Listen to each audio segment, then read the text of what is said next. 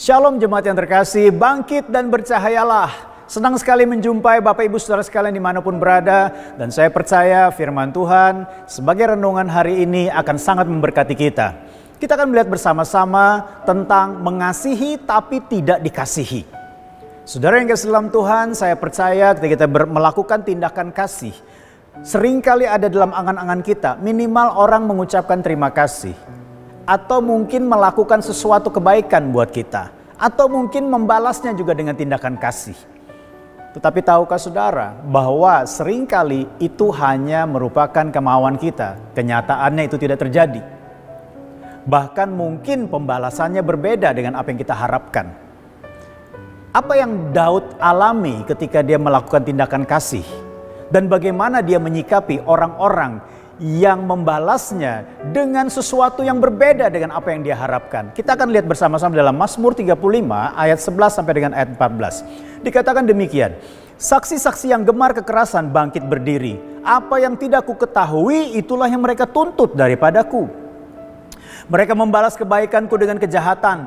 Perasaan bulus mencekam aku. Tetapi aku ketika mereka sakit, aku memakai pakaian kabung. Aku menyiksa diriku dengan berpuasa. Dan doaku kembali timbul dalam dadaku. Seolah-olah temanku atau saudarakulah yang sakit. Demikianlah aku berlaku.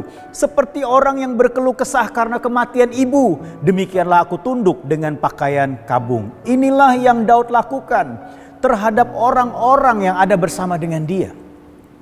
Tetapi apakah tindakan kasih ini berbalas sesuai dengan yang kita harapkan, sesuai dengan apa yang dipikirkan kebanyakan orang? Ternyata tidak.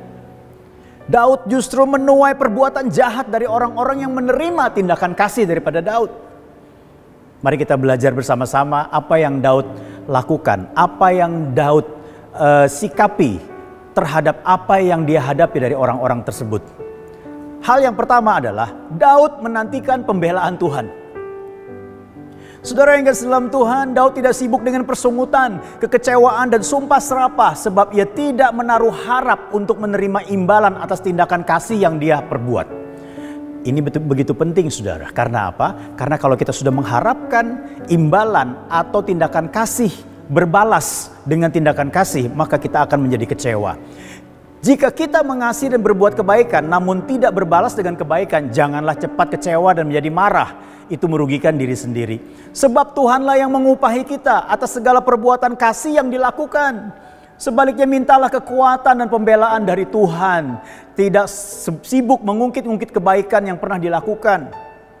Sebab itu jika kita melakukan tindakan kasih jangan berharap pamrih agar kita tidak mudah dikecewakan. Sebab Tuhanlah pembela kita dalam menghadapi orang-orang maupun situasi yang sulit. Yang kedua adalah Daud bersuka cita karena Tuhan. Sukacita sejati selayak yang lahir dari Tuhan bukan dari sikap dan respon orang terhadap kebaikan kita. Sukacita yang mengatasi perasaan berlandas kepada janji Tuhan.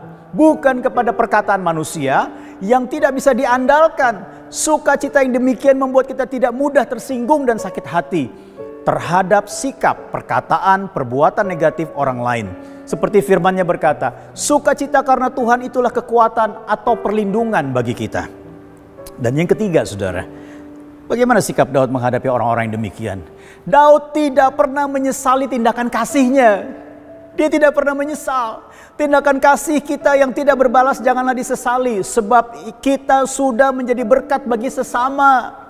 Bukan karena semata-mata kekuatan kemampuan kita, tetapi karena Tuhan yang memampukan kita. Menyesali tindakan kasih yang dilakukan hanya akan mengobarkan kekecewaan dan sakit hati. Itu akan mencuri damai sejahtera menggantikannya dengan kemarahan kegalauan. Hari ini apa pun balasan orang terhadap tindakan kasih yang kita lakukan, jangan kecewa. Tetaplah bersyukur dan bersuka cita karena Tuhan.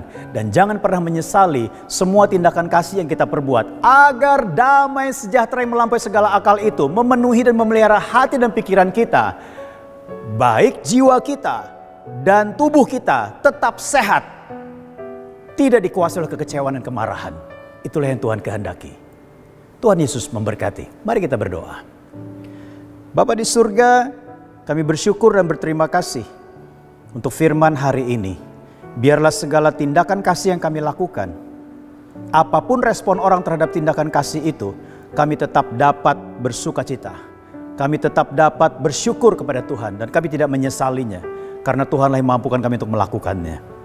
Kami percaya sepanjang hari ini kami diberkati dengan kekuatan baru, ada pembelaan Tuhan yang menyertai kami. Terima kasih Tuhan Yesus. Dalam nama Tuhan Yesus kami berdoa. Amin. Tuhan Yesus memberkati.